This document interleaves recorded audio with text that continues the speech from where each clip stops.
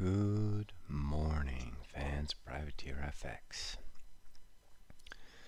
Coming at you Wednesday, hump day here, 14 August. Wild, wild day yesterday, as you guys all saw.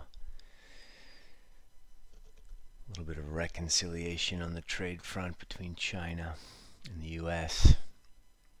We got caught. We were short dollar Swiss. Uh, through that 90 level. We were short dollar yen, thinking 105 was going to break, and we were long euro dollar, waiting for the uh, 112.30 to break. Um,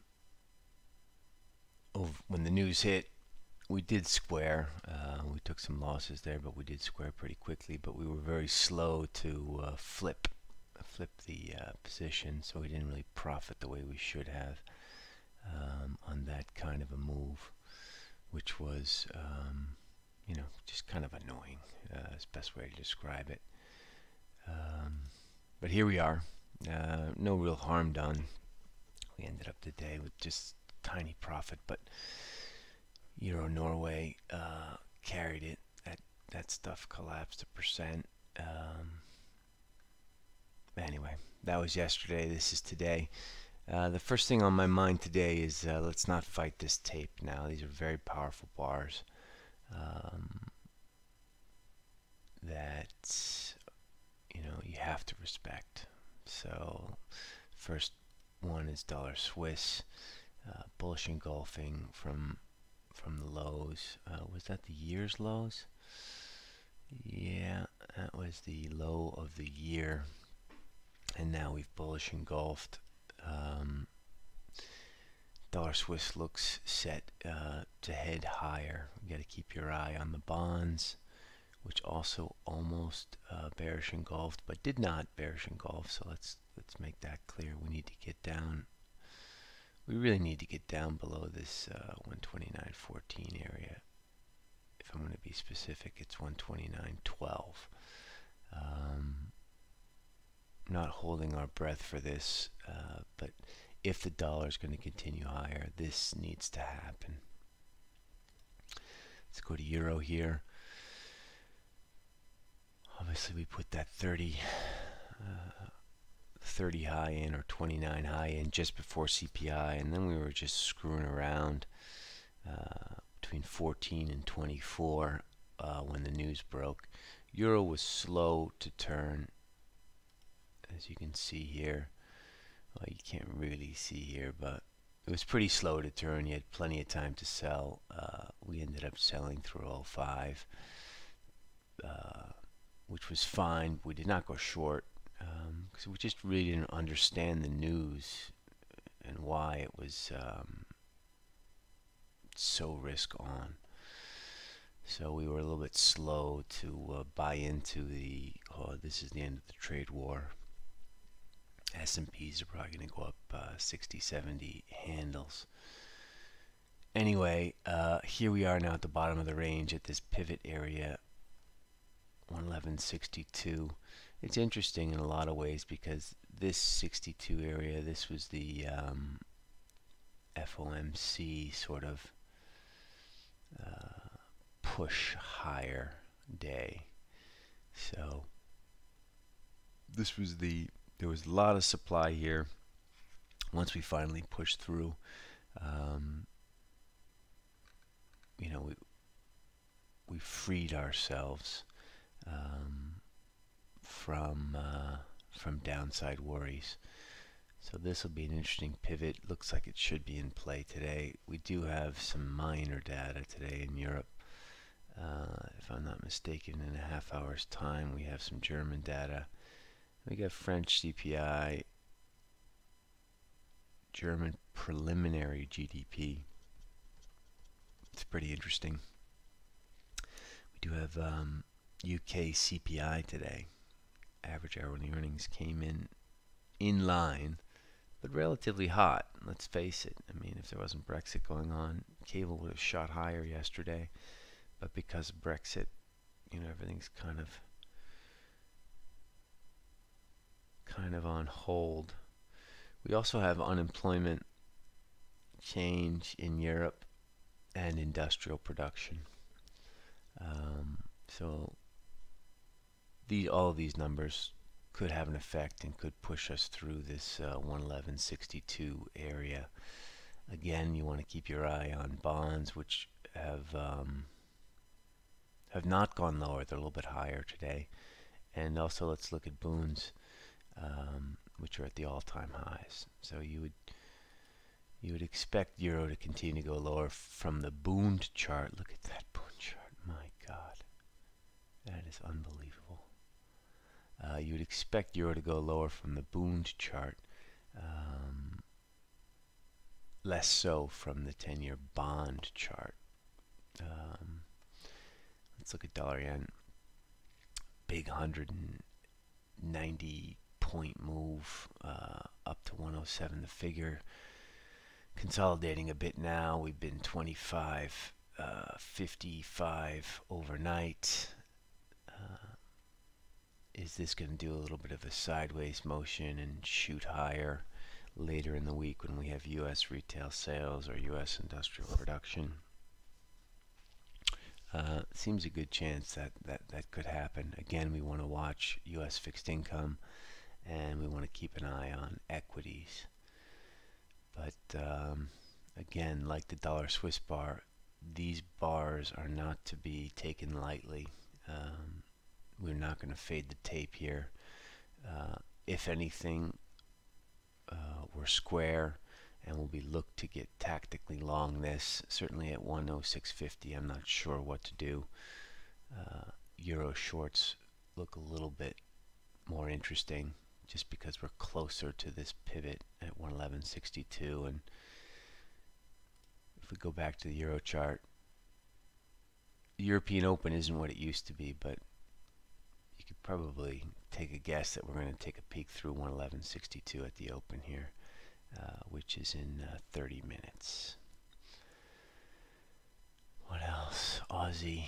We had some Aussie uh, data out last night I haven't even looked at it. Um, wage price index was in line at 0.5. Uh, super interesting, this uh, 68.18. Here's the weeklies. When you get a weekly bar like this after a big down move, usually it it, um, it means this thing's going to turn. It didn't make a lot of sense uh, until this trade thaw news came yesterday. Now it makes quite a bit of sense. Plus, the market is short. Um, the one wrench in all this, of course, is you know we have we have two sides that are loaded with ego doing this negotiation. We obviously have Trump and his team, a bunch of sociopathic egomaniacs, and then we have Hugh and, and, and their team, also um, driven by ego and hubris and pride. Uh, I won't claim to understand the Chinese team uh, the way I feel like I have a pretty good understanding of the U.S. team, but I do see that they are driven by ego, and so when you have this kind of negotiation, logic is is not really um, part of the game. So a lot of things can happen. So you just got to be open-minded, uh, look both sides, and keep things uh, in a tactical. Keep trading in a very tactical place in your mind. Um, things can turn on a dime, and things can change on a dime, a la yesterday. Let's look at equities.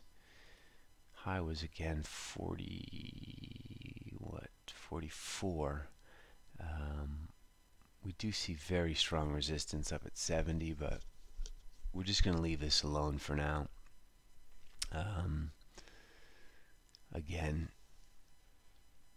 this kind of bar, although this kind of bar in equities, this is just the middle of the range now, so this isn't as powerful as the bars in dollar Swiss, uh, euro dollar, and dollar yen. This is literally just the middle of the range there's every reason to think that you could probably sell it up here between 60 and 70. Um, but why not just wait for the bad news to come and sell with the news? Um, so we're just going to leave that alone for now. Dollar ZAR came charging lower.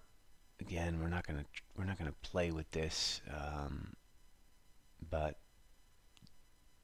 based on this technical pattern here, this does have some more downside. You could probably sell this between 15, 20, and 30. A um, lot of momentum type guys have done very, very well and will need to protect their P&L um, on the way down. You would expect the first large chunk of stops are going to be here at this 1490.95 level. And our old friend Euro Norway. Big red bar, obviously, yesterday. Not as powerful as the dollar bars, but still powerful enough. Um, the proc, you know, the correlation here is risk on dollar euro Norway goes lower, risk off euro Norway goes higher. So it's kind of one of these world of one trade type deals here, but um, saved us yesterday with our shorts. Uh, we'll be selling at 95 today. Uh, just kind of churning this short position. Um, try and buy some back at 90, maybe buy some at 85. If the 85s get filled, try and sell 90s again. Um, again, we are looking for a move down to 9 at the minimum. Uh, you know, 9 987 is our target. But based on these risk on bars, we're feeling a little bit more comfortable that this is going to go back to 970. So core short in a real slow uh, trading manner. We're not trading this on big figures. We're not jobbing this. We're we're core short on the half a percent. So goes down four or five handles. We buy and then we leave offers above to improve our average. That's Euro Norway. Let's go to dollar China. Um, this would have been much more interesting if we'd closed below 7. Obviously, there's massive support at, at uh, 696. We're back at 703.99, which is a bit of a surprise for me that stocks are where they are with this where it is. Um, we'll just use this as a barometer, right? And um, below 7 is risk on. Towards 710 is risk off. Alrighty, now uh, I've said enough. U.S. Uh, very little data today. Import prices, crude inventories.